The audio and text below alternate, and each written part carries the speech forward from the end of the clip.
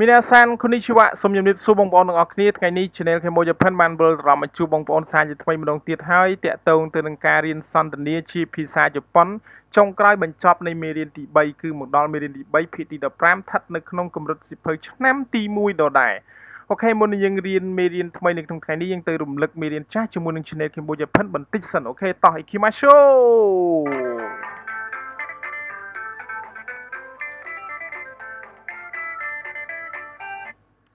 អូខេនេះគឺជាមេរៀនមុនដែលយើងបានសិក្សារួចមកហើយគឺរូបមន្តនៃសំណង់ប្រយោគវេយ្យាករណ៍ភាសាជប៉ុនដែលយើងនឹងបានរៀនបញ្ចប់ថ្មីថ្មីមុននេះបន្តិចអូខេអញ្ចឹងយើងធ្វើការមើលទាំងអស់គ្នាយើងធ្វើការបង្ហាញបន្តិចបន្តួចមុននឹងយើងទៅរៀនសន្ទនាបញ្ចប់មេរៀនទី3នៅក្នុងថ្ងៃនេះអូខេអឺខូរ៉េសូរ៉េអារ៉េបូកជាមួយនឹងបរិវារសាវៈបូកជាមួយនឹងដូកុបូកជាមួយនឹងបរិវារសព្ទ no បូកជាមួយនឹងនាមរបស់ហើយបូកជាមួយនឹង desuka អូខេអញ្ចឹងអឺបន្ទាប់មកទៀតគឺ kono sono ano បូកជាមួយនឹងនាមរបស់បូកជាមួយនឹងបរិវារសព្ទ wa បូកជាមួយនឹង ikura គឺតម្លៃប៉ុន្មានហើយបូកជាមួយនឹង desuka អូខេអញ្ចឹងគឺវាមានរូបមន្តពីរពីរបែបហ្នឹងអូខេអញ្ចឹងយើងធ្វើការអានហើយនឹងធ្វើការបកប្រែនិងបញ្យលបន្តិចបន្តួចបន្ថែមរំលឹកអូខេ kore sore are kore គឺយើងប្រែថាអូខេនេះ សូរ៉េប្រែថានោះអារ៉េប្រែថានោះវៈប្រែថាគឺឬក៏ជាឬក៏គឺជាហើយវៈដើរតួជាបរិវារស័ព្ទអូខេលើកគេហៅថាសំណង់ប្រយោគទាំងមូលឲ្យជាសំណង់ប្រយោគដែលមានប្រធានបទនាមដែលនៅខាងមុខវៈគឺជានាមប្រធាន នាមដែលនៅខាងក្រោយវៈគឺជានាមដែលបង្ហាញពីពណ៌នាអំពីនាមដែលនៅខាងមុខវៈហ្នឹងនិយាយអំពីអ្វីឬក៏បង្ហាញអំពីសកម្មភាពអ្វីអូខេ អញ្ចឹងបន្ទាប់មកទៀតបរិវារស័ព្ទ no បរិវារស័ព្ទ no គឺយើងប្រែបានច្រើនប្រែថារបស់ប្រែថានៃ ប្រែថាស្ដីអំពីប្រែថាអីនេះទៀតអូខេប្រែថាផលិតផលិតពីផលិតពីអីមួយហ្នឹងណាផលិតពីប្រទេសណាផលិតពីកន្លែងណាអូខេអញ្ចឹងបន្ទាប់មកទៀតអឺនាមនាមរបស់នាមរបស់មានច្រើនអញ្ចឹងយើងមិនចាំរៀបរាប់ទេនាមរបស់នាមតកតងនឹងនាមវត្ថុណាមានច្រើនមានបិចតុកទូកៅអីខោអាវសម្លៀកបំពាក់បែកជើង អូខេមានច្រើនយើងដាក់មកអូខេអឺដេះដេះគឺយើងប្រើនៅពីក្រោយនាមបញ្ចប់ clear ឬប្រយោគណាមួយក្នុងអត្ថន័យគួសមមុំមុំនិយាយទៅកាន់ដៃគូហើយកាក់គេដាក់នៅក្រោយប្រយោគនេះដើម្បីឲ្យប្រយោគទាំងមូលហ្នឹងកើតទៅជាគេហៅថាប្រយោគចោតសួរគ្នាឬក៏ប្រយោគសំណួរអូខេអញ្ចឹងកាក់ហ្នឹងគឺស្មើនឹងសញ្ញាសួរនិយាយខ្លីបើនិយាយបកប្រែជាភាសាខ្មែរប្រែថាតើអញ្ចឹងយើងប្រែដល់អ្នកគ្នាមកតើអូខេតើនេះនោះ ឬក៏នោះ គឺជារបស់នៃកន្លែងណា របស់របស់របស់បាទបែបនេះយើងប្រែថារបស់ណាយើងកុំច្រឡំគ្នាណាអានេះក៏ប្រែថារបស់ដែរឬក៏ប្រែថានៃប្រែថាផលិតពីឬក៏ប្រែថាស្ដីអំពីអញ្ចឹងរបស់របស់កន្លែងណាឬក៏របស់របស់ប្រទេសណា អូខេរបស់ផលិតពីប្រទេសណា របស់ផលិតពីណាអូខេអញ្ចឹងគឺយើងប្រែបានអញ្ចឹងអញ្ចឹងយើងយល់ណាហើយយើងដើម្បីឲ្យកាន់តែយល់ទៅមើលវីដេអូមុនឲ្យមានការឧទាហរណ៍អូខេអញ្ចឹងយើងកាន់តែយល់អញ្ចឹងយើងគ្រាន់តែធ្វើការរំលឹករូបមន្តហ្នឹងបន្តិចជាងចោះអញ្ចឹងយើងបន្តិចមក kore sore ឬក៏ are បូកជាមួយនឹងវៈបូកជាមួយនឹង dokono ហើយបូកជាមួយនឹងនាមរបស់បូកនឹង desuka អូខេគឺប្រើក្នុងទម្រង់បែបអញ្ចឹង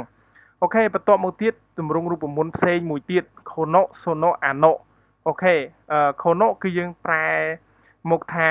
របស់នេះ sono ប្រែថារបស់នោះ ano ប្រែថារបស់នោះអូខេនេះគឺជានាមរបស់គឺ noun ខ្ញុំសរសេរមកថារបស់ គឺជានាមរបស់អូខេហើយបរិវារសព្ទ wa គឺយើងប្រែថាគឺឬក៏ជាឬក៏គឺជា អូខេអញ្ចឹង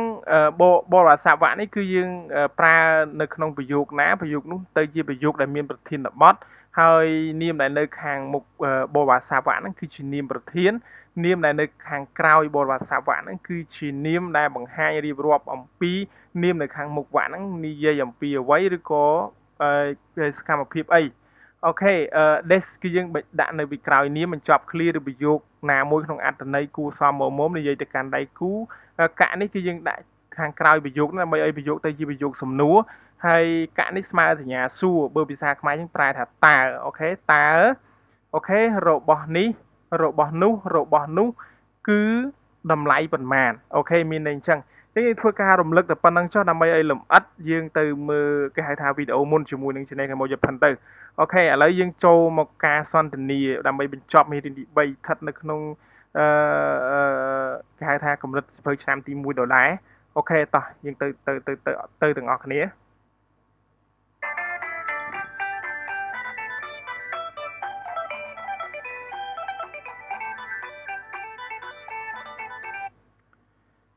អូខេនេះគឺជាការសន្ទនាបញ្ចប់មេរៀនទី3អូខេស្ថិតនៅក្នុងភាគទី15កំណត់សិភៅឆ្នាំទី1ដដែល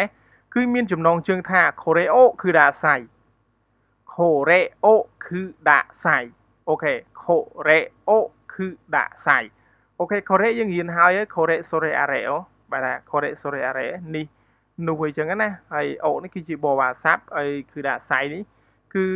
ជាពាក្យដែលថាស្នើសុំអូខេ អញ្ចឹងពាក្យហ្នឹងគឺយើងប្រែចូលគ្នាតែម្ដង Koreo គឺដាក់សៃ Koreo គឺដាក់សៃភាសាខ្មែរយើងក៏លេខមកមើលខាងស្ដាំមកអូខេយើងជេរបុព្វេទាំងអស់គ្នាហើយសូមឲ្យអាមួយនេះមកខ្ញុំគឺក្នុងអត្ថន័យប្រយោគហ្នឹងមានន័យអញ្ចឹងណាចំណងជើងដែលយើងរៀនសន្ទនាថ្ងៃនេះស្ថិតនៅក្នុងមេរៀនទី3ហ្នឹងគឺ Koreo គឺដាក់សៃភាសាខ្មែរយើងថាសូមឲ្យអាមួយនេះមកខ្ញុំសូមឲ្យអានេះមកខ្ញុំសូមឲ្យអានេះអូខេសូមឲ្យអាមួយនេះមកខ្ញុំ សុំឲ្យអាមួយនេះមកខ្ញុំអូខេមានអត្ថន័យអញ្ចឹងអញ្ចឹងយើងទៅមើលការបកស្រាយសន្ទនាគ្នារវាងភ្ញៀវហើយនឹងទៅកាន់បុគ្គលិកហាង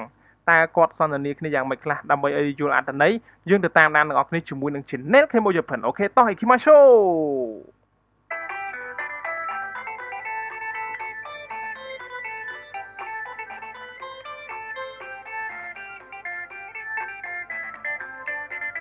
អូខេនេះគឺជាអត្ថបទទាំងមូលទាំងស្រុងតែម្ដងដែលធ្វើការសន្ទនាអំពី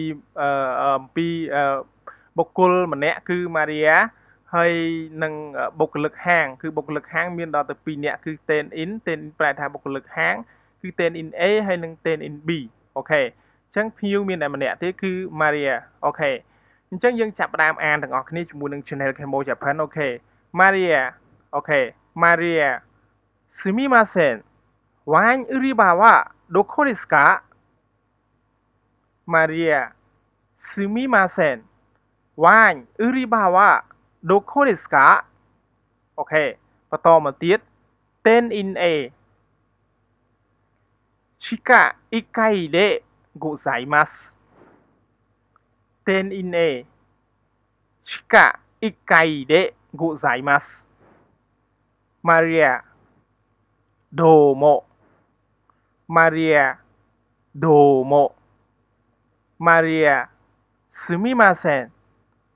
そのワインを見せてください Maria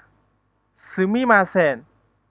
そのワインを見せてください10 in B. はいどうぞ10 in B. はいどうぞ Maria これはフランスのワインオーです。ソンフェイト。これはフランスのワインですか？マリア。これはフランスのワインですか ?10 in B。いえ、イスタリノです。10 in B。いえ、イスタリノです。Italiano です。マリア、いくらですか？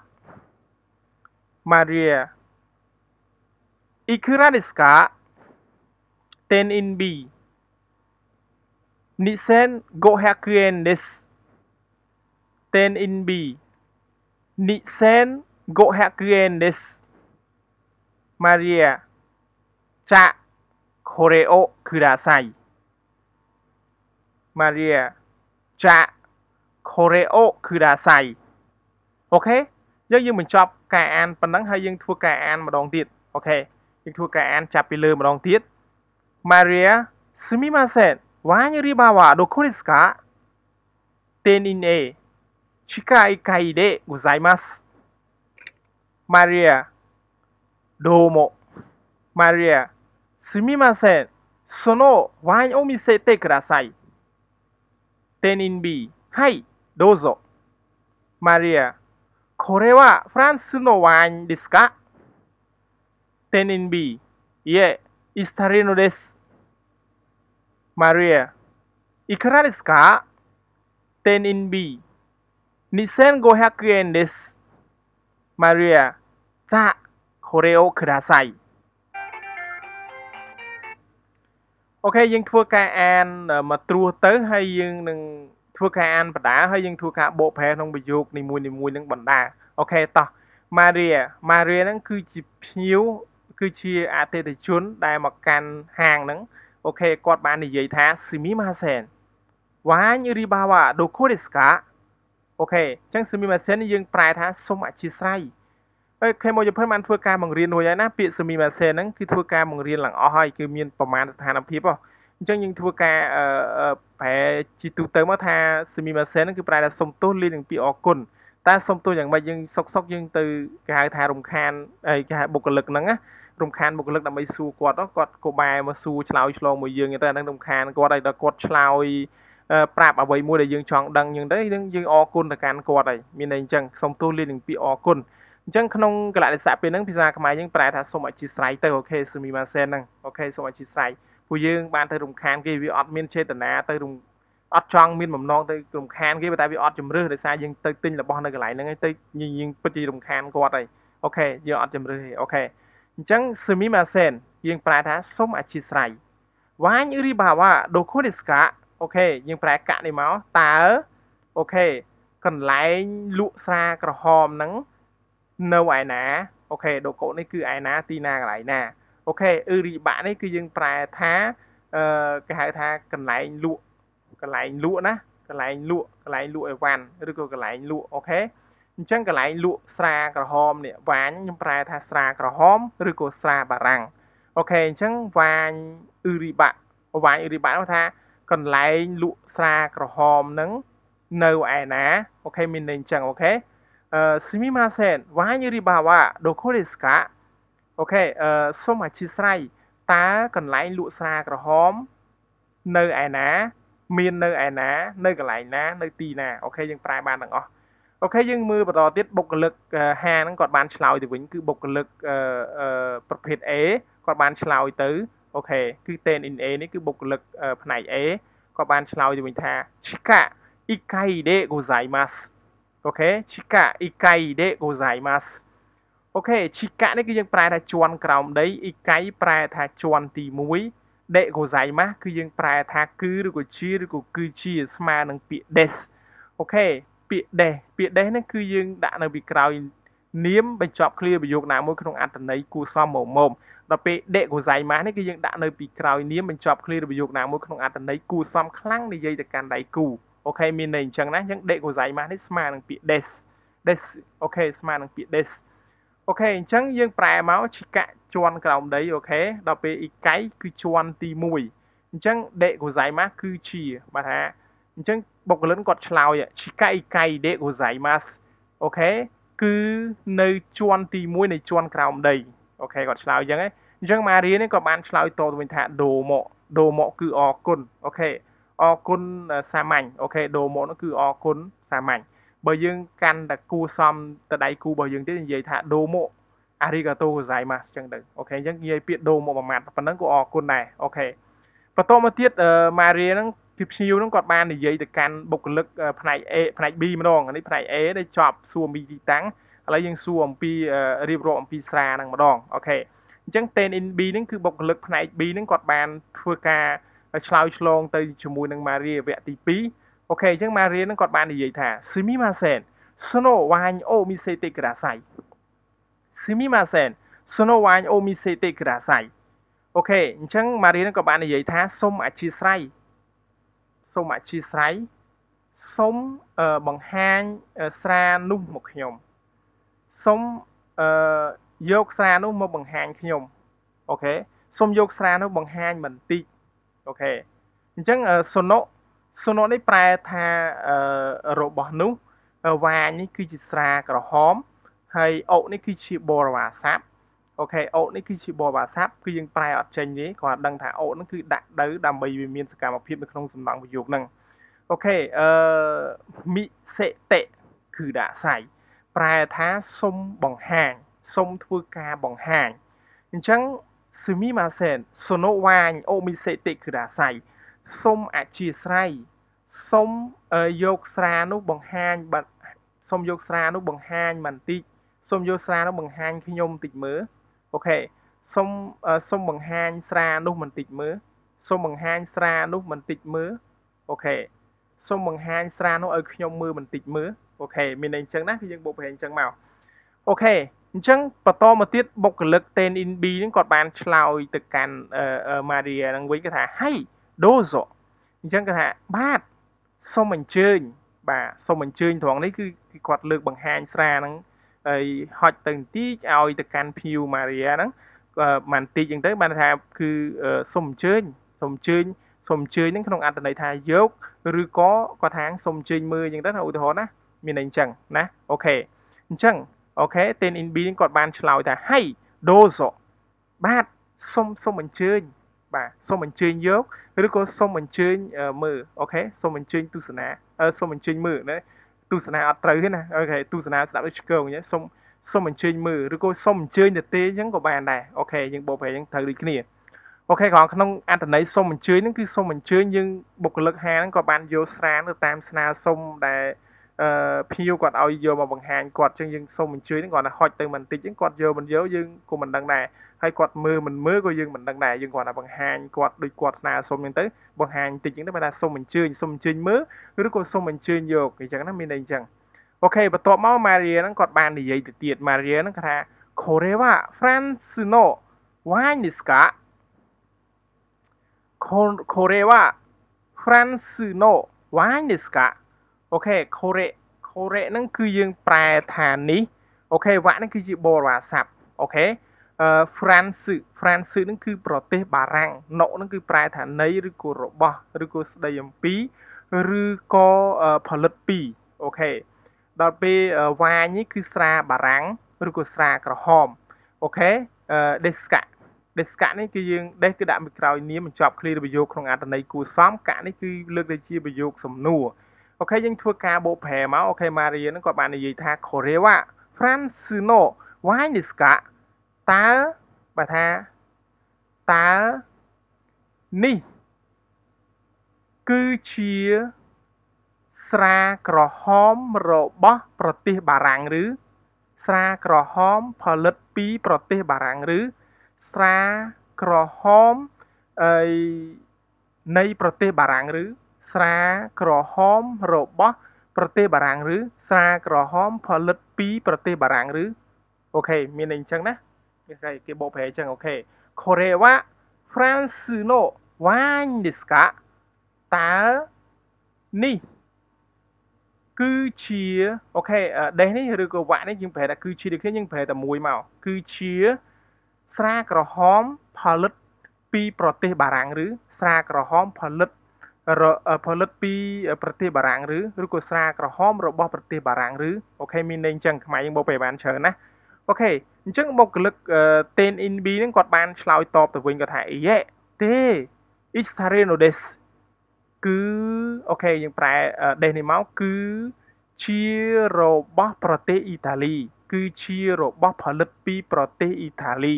អូខេមានន័យអញ្ចឹងណា Istaria យើងរៀនហើយពាក្យ Italia ហ្នឹងគឺប្រទេសអ៊ីតាលី の ហ្នឹងគឺយើងប្រែថាផលិតពីឬក៏ស្ដីអំពីឬក៏នៃឬក៏របស់ក៏យើងប្រែបានច្រើនអញ្ចឹងក្នុងពេលហ្នឹងយើងប្រែឲ្យពីរួចថា Italianodes គឺយើងប្រែថាគឺផលិតពីប្រទេសអ៊ីតាលី គឺរបស់ប្រទេសអ៊ីតាលី គឺផលិតផលនៃប្រទេសអ៊ីតាលី OK យើងបបប្រែយើងបានដូចគ្នាអូខេអូខេ E Italianodes ទេគឺជារបស់ប្រទេសអ៊ីតាលីអូខេ បន្ទាប់មកម៉ារីនឹងក៏បាននិយាយថា Ikra deska Ikra deska អូខេតើតម្លៃប៉ុន្មានដែរអូខេបុគ្គលិក ten in b នឹងគាត់បានឆ្លើយទៅវិញ Nissan Go Hakuen des 2500 yen Nissan Go Hakuen des គឺតម្លៃ2500 yen ចិត្តថា20ដុល្លារចឹង20ដុល្លារជាងណាOK អឺ yen yen នេះភាសាខ្មែរដល់ពេលភាសាជប៉ុនគេថា n OK អញ្ចឹង2500 yen ភាសាជប៉ុនគេអានថា にせんごひゃくえんです OK គឺតម្លៃ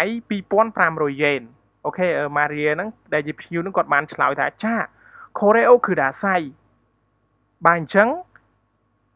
យកអាមួយនេះមានន័យអញ្ចឹងណាម៉ារីហ្នឹងក៏បាននិយាយថា じゃ これをください អញ្ចឹងយកអាមួយនេះ OK じゃ នេះយើងប្រែថាអញ្ចឹង ឬក៏ដូចនេះ OK これをください សុំយកអាមួយនេះឲ្យខ្ញុំ OK ដូចយើងមើលចំណងជើងអញ្ចឹង OK នេះមានមើលចំណងជើងនេះ OK これをください OK សុំឲ្យអាមួយនេះមកខ្ញុំ OK មានន័យអញ្ចឹងអញ្ចឹងហើយ これをください នេះគឺយើងប្រែថាសុំឲ្យអាមួយនេះមកខ្ញុំចាក់ចាក់នេះប្រែថាអញ្ចឹងឬក៏ដូចនេះអញ្ចឹងយើងប្រែមកថាអញ្ចឹងសុំឲ្យអាមួយនេះមកខ្ញុំមានន័យអញ្ចឹងណា អូខេយើងធ្វើការអានមកត្រួសទាំងអស់មកហើយនឹងធ្វើការបូកប្រែទាំងអស់ជូនតែម្ដងដើម្បីបញ្ចប់មេរៀនយើងអូខេអញ្ចឹងម៉ារីគាត់ចាប់ផ្ដើមនិយាយហើយអូខេすみませんワーニュリバはどこですか司会会でございます。どうも。すみません。そのワインを見せてください。はい、どうぞ。これはフランスのワインですかいいえ、 イタリアのです。いくらですか ?2500 円です。じゃあ、これをください。អូខេយើងប្រែទាំងអស់គ្នាមកសូមអធិស្ឋានតើកន្លែងលក់ស្រាក្រហមនៅឯណា គឺនៅជាន់ទី1នៃជាន់ក្រោមដីអរគុណសូមអធិស្ឋានសូមបង្ហាញស្រានោះមកខ្ញុំ សូមយកសារនោះមកបង្ហាញខ្ញុំបន្តិចមើលអូខេមានន័យអញ្ចឹងបាទសូមអញ្ជើញតើស្រានេះផលិតនៅប្រទេសបារាំងឬ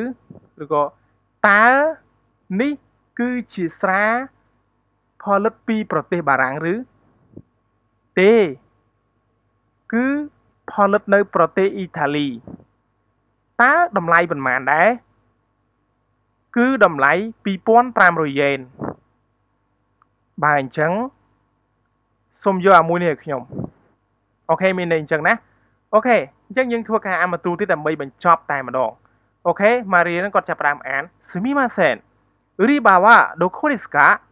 近い階でございますどうもすみませんそのワインを見せてくださいはいどうぞ